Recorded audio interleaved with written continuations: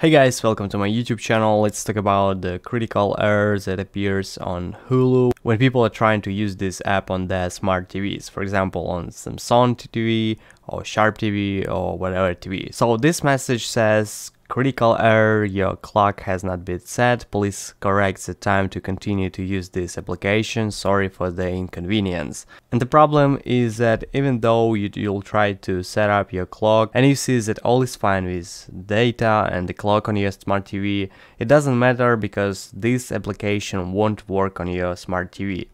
Uh, but there is one solution that might help you in this situation. I don't know what kind of TV you're using, but right now on the screen you see the instruction how to update software on Samsung TV. And this method in most cases works just fine. Because for some reason clock error on Hulu appears uh, when there is some problems with update. In case if you're using some another kind of uh, smart TV and you want me to help you uh, to update the software, you could write in the comment section the model of TV that you're using and I'll try to find the instruction uh, for your model.